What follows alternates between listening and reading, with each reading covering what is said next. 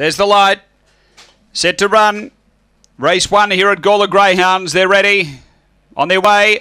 And stepping well, Trademark Jen's looking for the front. There's speed from Katie's Empire. They go together early. Trademark Jen, Katie's Empire, two away, a length and a half. Hayride Mills. Uh, then Spring Lisa, Waikaringa. Uh, getting back in the field, Alan Paul, and also take over Taylor up to the bend. Hayride Mills darting through, grabs the front from Katie's Empire, then Trademark Jan. But Hayride Mills too good. Hayride Mills first, Katie's Empire second. Third looks to be Alan Paul for a Trademark Jan.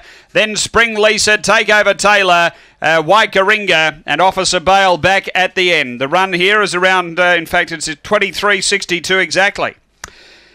Race one, numbers are 7, 3, 8 and 2. 7, 3, 8 and 2. Number 7, uh, Hayride Mills, David Perry, owner trainer, a white and brindle dog, January 2015, Glengallen Hayride Rosie.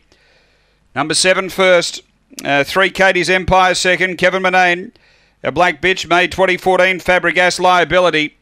And third to eight, Alan Paul, Wendy Matcott. A Brindle Dog, January 2015, Dinah Nolan, Ferrari Bale. It's 7382 after race one here at Gawler.